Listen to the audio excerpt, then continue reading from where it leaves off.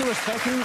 Herzlich willkommen nochmal Ihnen allen und zunächst äh, und gleich zu Beginn zu Robin Alexander, politischer Korrespondent, sehr viel tätig für die Kollegen von Welt und Welt am Sonntag, der ein Buch gemacht hat, das es in sich hatte, Die Getriebenen. Äh, zunächst, Herr Alexander, in der aktuellen Konfrontation mit der Türkei, da geht es ja immer wieder um diesen Flüchtlingsdeal und all das hängt ganz eng zusammen mit dem, was Sie so packend und wirklich atemberaubend beschrieben haben. Äh, wie eigentlich ist dieser Deal entstanden? Aus Ihrer Sicht? Der Deal wurde ja immer uns vorgestellt als der Merkel-Plan. Mhm. Tatsächlich ist die erste Idee von Wolfgang Schäuble. Wolfgang Schäuble hat Angela Merkel schon im Sommer gesagt, bevor wir das alle auf dem Schirm hatten, dass überhaupt die Flüchtlingskrise kommt, sie muss mit Erdogan reden. Weil die Flüchtlinge ja damals aus Syrien über die Türkei, über den Balkan gekommen sind. Mhm. Und Merkel hat sich genau gegen das lange gewehrt, was sie dann getan hat. Sie wollte sich nämlich nicht in die Hände von Erdogan begeben. Was ja sehr für sie spricht. In der Tat. Und, aber nach der Grenzöffnung hat die Bundesregierung erst versucht, eine Lösung in Europa zu finden. Wir erinnern mhm. uns, da gab es diese berühmten Brüsseler Sitzungen. Und als die anderen Europäer einfach nicht bereit waren, die Flüchtlinge zu übernehmen, die über unsere Grenze gelaufen sind, kam man doch auf Erdogan. Und dann hat Angela Merkel die Politik, die sie vorher betrieben hat, die ja, jahrelang eine sehr skeptische Türkei-Politik war, mhm. in ihr Gegenteil verkehrt. Privilegierte Partnerschaft, wenn es um EU geht. Genau, das hat sie erfunden, so das war ihr genau, Wort. Das ja. ist ihr Wort, genau, genau. ist ihre Erfindung. Äh, so, ähm, Herr Alexander, das sozusagen zum aktuellen Teil der Geschichte und wichtig auch von Ihrer Seite mal diese Einordnung zu hören. Lassen Sie uns sprechen über das, was Sie recherchiert haben. Wenn man den Beginn dieser Krise mal verstehen will, wenn man Leute auf der Straße fragen würde, dann würden die sagen, klar, das war dieses Ungarn-Wochenende. Sie sagen, äh, der Beginn dieser Krise äh, zeichnete sich bereits im Frühjahr 2015 ab. Und da geht es jetzt um einen Mann, den Sie immer wieder beschreiben, nämlich Dieter Roman. Das ist der Präsident des Bundespolizeipräsidiums, also anders ausgedrückt Deutschlands oberster Grenzschützer. Ein Mann, der wirklich was zu sagen hat, der auch weiß, wie man logistisch eine Grenze schließen kann, der all diese Dinge im Griff hat und der auch Bundespolizei in, in wenigen Tagen an die richtige Stelle bringen kann und der auch beim äh, G7-Gipfel in Elmau gezeigt hat, was da alles möglich ist. Und da dämmerte äh, den Behörden ja schon, was da alles schiefläuft, dass es ganz viele illegale Grenzübertritte gibt.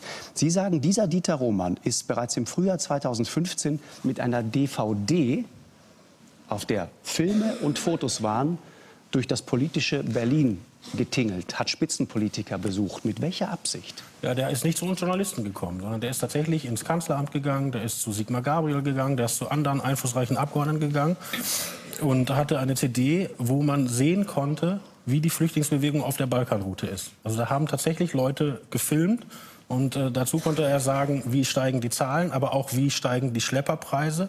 Dann war das ja damals eine Situation, wo das Schleppertum, also Kriminalität und mhm. staatliches Handeln ineinander floss. Also zum Beispiel die Mazedonier, die haben immer gefragt, die Europäer, was sollen wir denn jetzt machen? Sollen wir die alle zurückschicken? Und als die Europäer nichts gesagt haben, haben die Mazedonier dann angefangen, Züge anzumieten aus anderen Ländern, weil sie gar nicht genug Züge hatten, um die weiter zu transportieren in das nächste Land. Und die mazedonische Staatseisenbahn hat das erste positive Betriebsergebnis ihrer Geschichte gemacht 2015. Die haben das erste Mal Gewinn gemacht. Ja, weil die Flüchtlinge sich ganz brav alle Tickets gekauft haben. Das war ja auch das Besondere. Die Flüchtlinge, die dann kamen im Herbst, die hatten ja gar kein Unrechtsbewusstsein, dass sie da einen illegalen Grenzübertritt gemacht haben. Weil die sind ja von der Polizei weitergewunken worden. Die haben sich ja Tickets gekauft. Also aus deren Perspektive haben die ja überhaupt nichts Falsches gemacht. Und das war die Lage, die sich aufbaute ab Frühjahr 2015. Wir haben das alle nicht gesehen, ich auch nicht. Ich war mit der Euro-Krise beschäftigt. Wir haben Artikel über den Grexit geschrieben. Richtig. Aber das sickerte halt so durch das politische Berlin. Und man wusste, es baut sich eine Welle auf. Das heißt, ein, wenn man, das ist das Spannende an Ihrem Buch. Du siehst, da reiht sich sozusagen aus meiner Sicht zumindest, aus der Sicht des, des Lesers, ein strategischer nicht unbedingt entscheidender, aber ein Fehler an den nächsten. Und in der Gesamtheit, in der Konsequenz, äh, ist es dann ein Weg, aus dem es dann offenbar kein Zurück mehr gibt, weil die Situation unglaublich verfahren ist. Geht dann auch ganz detailliert um die Geschehnisse am 4. 5. September 2015, der Tag dieser berühmten Grenzöffnung. Wie war damals aus der Sicht dessen, was Sie recherchiert haben, die Situation? Ja, das Irre ist, das ist ja vielleicht der wichtigste Tag der deutschen Geschichte der letzten zehn Jahre. Ja. Und das Kanzleramt war unbesetzt. Also die haben morgens sich noch um 8.30 Uhr getroffen in der Leitungsrunde bei Angela Merkel, mhm.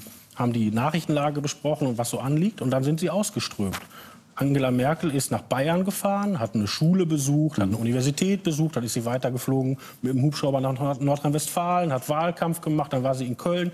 Peter Altmaier, der Kanzleramtschef, war Darf ich Sie einmal ganz kurz unterbrechen, Alexander? Es gibt Fotos davon und äh, wir haben die, uns mal die Mühe gemacht, die einfach alle rauszusuchen. Und achten Sie auf die Farbe des Bläsers, dann werden Sie feststellen, es ist ein und derselbe Tag. Also gibt es zunächst mal einen Termin in der Grundschule und Grund- und Mittelschule in Erlbach, das ist dieses Bild. Dann gibt es eine Veranstaltung bei der TU in in Garching. Das ist dieses Bild. Dann gibt es den Bürgermeisterwahlkampf in Essen. Das dürfte dieses Bild sein. Und dann gibt es eine CDU-Feier im Botanischen Garten von Köln. Das ist dieses Bild. Das heißt, die Kanzlerin war unterwegs im Lande. Die Kanzlerin war unterwegs, musste dann natürlich immer reden, war zwischendurch im Flieger, war im Hubschrauber, war im Dienstwagen, war Peter Altmaier, der Chef des Kanzleramts, war auch nicht da. Mhm. Der war nämlich in Evian, das ist am Genfer See, da war eine schicke Managertagung. Also die, das sozusagen, wenn man sich vorstellt, Deutschland aber, aber, aber, muss man jetzt nicht irgendwie hämisch kommentieren? Oh nein, das, das ist ganz normales, so ganz normales. Ja, nur im Nachhinein, glaube ich, wären Betrieb? alle Beteiligten lieber im Kanzleramt gewesen. Also wenn man sich hm. Deutschland als ein Schiff vorstellt, dann war in dem Sturm war die Brücke leer. Aber die Frage ist ja, Herr Alexander, hätten die das wissen können? Das ist die entscheidende Frage. Weil nur daraus kann man ihnen ja einen Vorwurf machen. Hätte man das wissen müssen? Ich wollte gar keinen Vorwurf machen. Ich wollte nur, Nein, ich frage Sie. Äh, wie in meinem Buch Sie. immer erzählen, was gewesen ist. Nein, aber ich frage Sie, hätten, ja. hätten die das wissen können? Dass sich in Ungarn eine besondere Lage aufbaute, das war eigentlich bekannt. Wenn wir uns erinnern, das haben ja, glaube ich, auch die Zuschauer mitbekommen, da gab es diesen Bahnhof, wo der Orban die Flüchtlinge hingelockt hat, dann haben die keine Karten mehr bekommen, Fahrkarten, und dann sind die ja losgelaufen über die Autobahn. Und dann hat Orban ja auch nicht bei Merkel angerufen, Orban hat bei Feimann angerufen. Das war Beim damals österreichischen österreichische Bundeskanzler. Und der Feimann hat erst so getan, als wäre er nicht da. Er hat den Leuten sagen lassen, äh, er wäre nicht da und er könnte Orban morgen früh zurückrufen. Und dann haben die Ungarn Druck gemacht und haben gesagt, die Flüchtlinge laufen über die Autobahn. Ihr habt uns beschimpft, als wir sie zurückgehalten haben. Wollt ihr sie jetzt haben? Und dann hat der Feimann die Idee gehabt, die Merkel reinzuziehen. Und dann hat Feimann Angela Merkel angerufen. Und dann wurde aus dem Kanzleramt in Wien eine Leitung gemacht zum Kanzleramt in Berlin, Berlin, nach NRW, wo Merkel ja war, in der Flora, dem Botanischen Garten in Köln. Den wir gerade zitiert haben. So. Ja. Und da bekam Merkel dann gesagt von Feimann, Orban sagt, da sind Leute auf der Autobahn. Aber zu keinem Zeitpunkt wusste man, wie viele. Wie geht's, wie geht's denen wirklich? Mhm. So. Und dann wurde diese humanitäre Entscheidung schon zurück in Berlin, dass Frau Merkel auch nicht ins Kanzleramt gefahren, sondern in ihre Wohnung, ist die Entscheidung getroffen worden, wir lassen diese Leute von der Autobahn rein. Eine Entscheidung, die ich super gut nachvollziehen kann. Ich meine, warum soll man die da auf der Autobahn von der Polizei Ich glaube, bis lassen? heute würden 100 Prozent nahezu aller Deutschen würden sagen, das war damals die richtige Entscheidung im richtigen Moment. Exakt. Ein humanitärer nur, Akt. Nur, der Deal war, der Feimann nimmt die Hälfte und die Merkel nimmt die Hälfte. Und die sind alle nach Deutschland gegangen und immer mehr.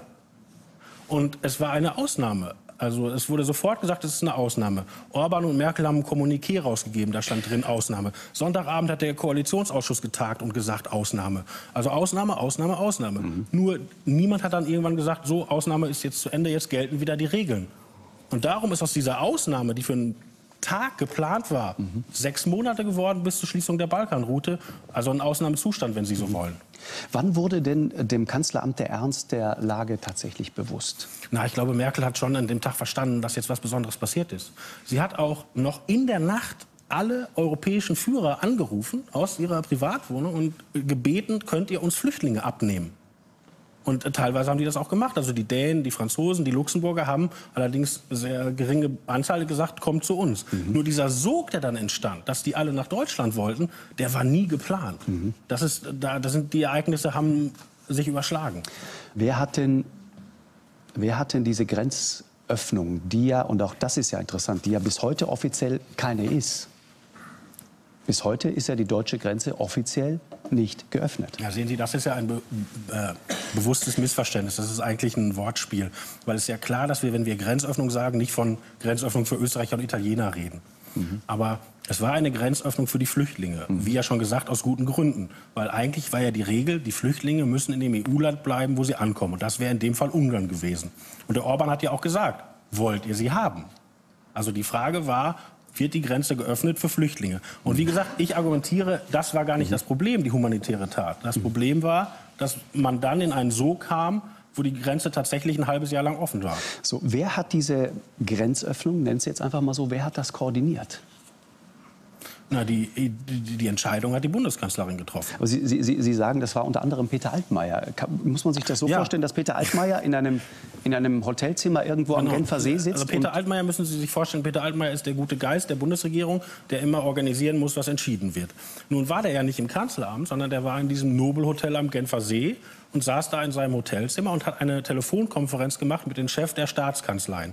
Also jedes Bundesland hat ja seine Regierung ja. und jede Regierung hat wieder einen Chef der Staatskanzlei. Mhm. Und das waren ja dann 16 Leute plus Altmaier, also 17 Leute. Mhm. Und die hat er von diesem Genfer Hotel, äh, von dem Hotelzimmer am Genfer See angerufen und hat dann gesagt, da kommen Flüchtlinge mhm. und die müssen verteilt werden. Und das ist auch etwas, was ehrlich gesagt bewundernswert gut gelaufen ist, weil das waren ja mhm. Menschenmassen. Unfassbar. Und dass die dann äh, wirklich nach NRW und in andere Länder verteilt wurden, das hat Deutschland ganz gut hingekriegt. Definitiv. Äh, und jetzt der ganz entscheidende Punkt. Ähm, Sie sagen, und das ist etwas, was ich so noch nicht gelesen und auch noch nicht gehört habe, Sie sagen, es gab von Anfang an gab es nach diesem Ungarn-Wochenende den Plan, diese Grenze wieder zuzumachen. Ja, es war ja, wie, wie schon beschrieben, es war ja Koalitionsausschussbeschluss, es bleibt eine Ausnahme. Mhm. Nur es wurde nicht beschlossen, wann endet die Ausnahme. Und dann nach diesem Wochenende, Sie erinnern sich, dann kamen die Selfies, dann kam sozusagen, dann rollte eine große Welle. Wir waren übrigens alle begeistert äh, und haben gesagt, epochale Tat von Frau Merkel, ne? muss man ja auch mal dazu sagen. Ja. und dann merkte man aber, dass es einfach logistisch nicht mehr zu bewältigen ist. Also man wusste nicht mehr, wo man die unterbringen sollte. Man hatte keine Feldbetten mehr, man hatte keine Turnhallen mehr. Mhm. Also so. Und dann haben die Kommunalpolitiker und dann die Landespolitiker gesagt, wir brauchen eine Lösung. Und dann ist erwägt worden, tatsächlich Flüchtlinge zurückzuweisen, um einfach diesen Sog zu kappen. Und da gab es eine entscheidende Telefonkonferenz, die war am 12. März der führenden Politiker der Großen Koalition, wo gesagt wurde, wir machen Sonntag Grenzkontrollen, gab es ja vorher nicht, und wir weisen auch bestimmte Flüchtlinge zurück. Also wir senden ein Signal, dass nicht mehr jeder kommen kann. März kann es nicht gewesen sein. Äh, Entschuldigung, ne? September. September, ja. Entschuldigung. Weil wir jetzt gerade im März Natürlich. sind. Ja. Mhm. Also 12. September diese Telefonkonferenz. Genau, und daraufhin äh, sind ja auch äh, Bundespolizisten an die Grenze gekommen. Also das wurde alles logistisch vorbereitet. Das war alles materiell da. Da sind mit Hubschraubern Polizisten von Hamburg nach, an die Alpen geflogen worden, an die österreichische Grenze. Hunderte oder wie muss man ja, sich das natürlich. Das ist ja, wenn Sie sich die deutsch-österreichische Grenze vorstellen, das ist ja keine Lappalie. Also da hatten alle Bundespolizisten der Republik Bereitschaftsdienst. Ich frage deswegen nach, weil ja. man der Öffentlichkeit ja häufig erzählt hat, so eine Grenze kannst du überhaupt nicht schließen. Ja, das ist mein, meiner Meinung nach, ein, äh, das hätte man nicht sagen dürfen, weil ähm, es lag sogar der materielle Einsatzbefehl vor. Also der war schon ausgedruckt, der hätte nur noch ausgestellt werden können. Und am von, wem, Sonntag, von wem kam der? Na, der hat die Führung der Bundespolizei geschrieben. Aber aufgrund von politischen Anweisungen. Die Bundespolizei macht ja nicht, was sie will in Deutschland. Mhm. Von wem? Also im Zweifel Innenminister? Ja, Thomas aber die entscheidende Sitzung im Innenministerium war einen Tag später, 14 Uhr, entscheidende Sitzung im Innenministerium unter Leitung des Innenministers Thomas de Maizière. Wie führen wir es konkret durch? Und also es ging um die Frage, wie schließen wir jetzt wieder diese Grenze? Es ging um zwei Fragen. Einmal Grenzkontrollen einzuführen, das gab es ja vorher gar nicht. Und dann, wen weisen wir zurück? So. Und in dieser Sitzung, als sozusagen der konkrete operative Plan besprochen wurde, kamen Bedenken auf.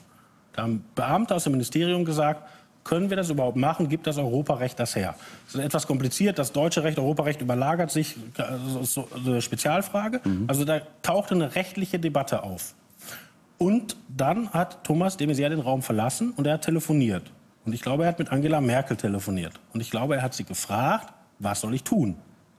Und dann kam er in die Sitzung zurück. Und dann hat er gesagt, was machen wir denn, wenn wir die Leute nicht zurückweisen können? Was machen wir, wenn die Flüchtlinge auf die Grenze zulaufen?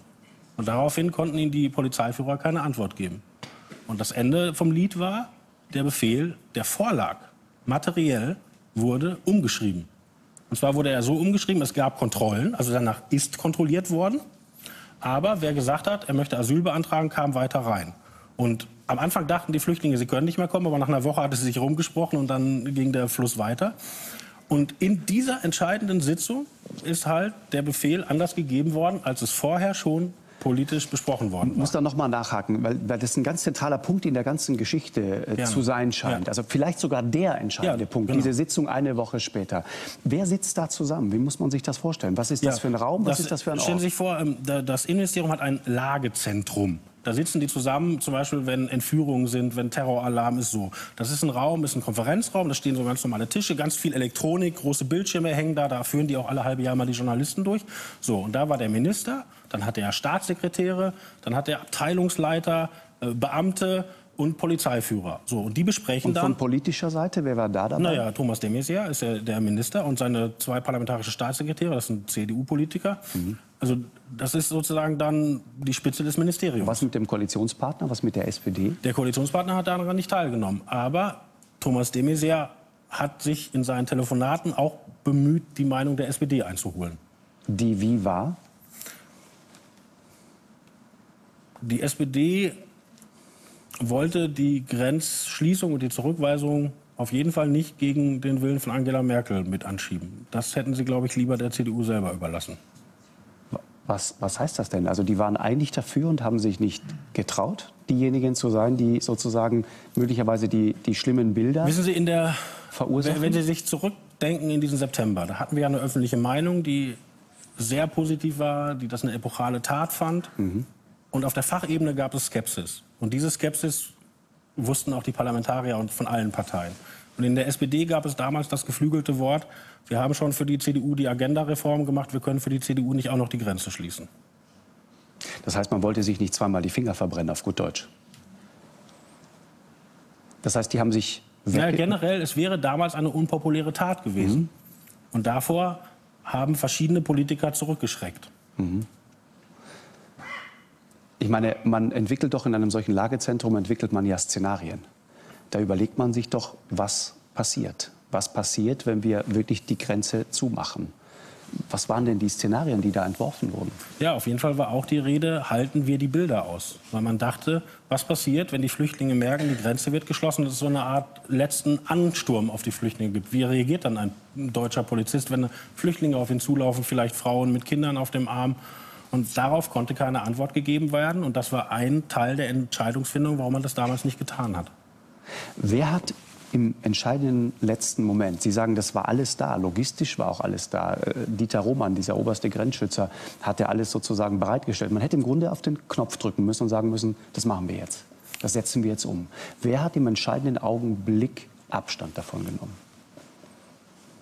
Die Entscheidung hätte der Innenminister treffen müssen. In unserer Verfassung gibt es eine Ressortverantwortlichkeit. Also Thomas de Maizière hätte das tun können und wenn man so will, auch wenn man der Meinung ist, auch müssen. Er hätte es auch machen können, ohne noch mal Rücksprache zu halten? Ja, natürlich. Er, hat, er ist ja nicht von Frau Merkel angerufen worden. Er hat aus der Sitzung telefoniert mit Frau Merkel. So, ich hab, war bei dem Gespräch nicht dabei, mhm. aber augenscheinlich ist ja nicht die Entscheidung getroffen worden, Flüchtlinge zurückzuweisen.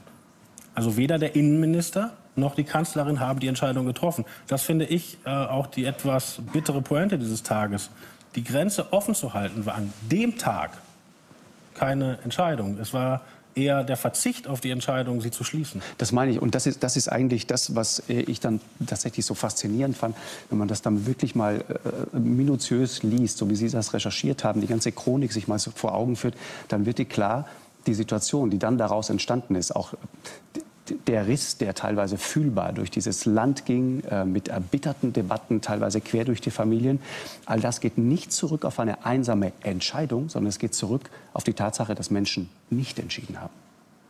Kann man das so sagen? Das ist auf jeden Fall für diesen Tag richtig. Und das ist auch das, was ich zeigen wollte. Und deshalb habe ich auch diesen Titel Die Getriebenen gewählt, der ja mhm. ausdrückt, dass die entscheidenden Leute auch dann in einer entscheidenden Situation passiv waren.